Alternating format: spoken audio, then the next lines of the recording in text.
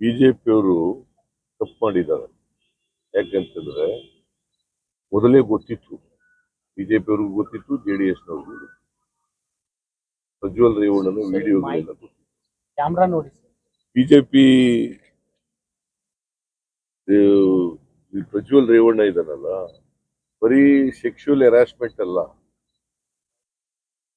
Rape ಮಾಡಿದ್ದಾರೆ. Rape case ಮಾಡಿದ್ದಾರೆ, rape case ಆಗಿದೆ. ವಿಕ್ಟಿಮ್ ಒಬ್ರು ರೇಸ್ ರೇಪ್ ಆಗಿದೆ ಅಂತ ಹೇಳ್ಬೇಕಾದ್ರೆ ಸುಳ್ಳು ಹೇಳ್ತಾರ ಹೆಣ್ಮಗಳು? ಅವಳ ಜೀವನ ಹಾಳಾಗಲ್ವಾ?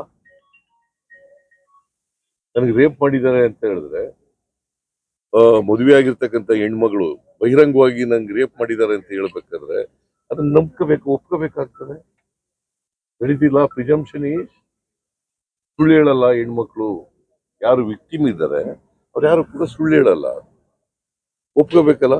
ಅದು ಗೊತ್ತಿದ್ದು ಯಾಕೆ ಸೀಟ್ ಕೊಟ್ರು? ಗೊತ್ತಿದ್ದು ಯಾಕೆ ಅವ್ರ ಜೊತೆ ಅಲಯನ್ಸ್ ಮಾಡ್ಕೊಂಡ್ರು? ಇದು ಒಂದು. ಎರಡನೇದು ಅಮಿತ್ ಶಾ ಮತ್ತೆ ನರೇಂದ್ರ ಮೋದಿ ಅವರು ಭ್ರಷ್ಟಾಚಾರದ ಬಗ್ಗೆ ಮಾತಾಡ್ತಾರೆ. ಮೈ ಕಾವುಂಗ, ಕಾನೆ ದೂಂಗ ಅಂತ ಮಾತಾಡ್ತಾರೆ.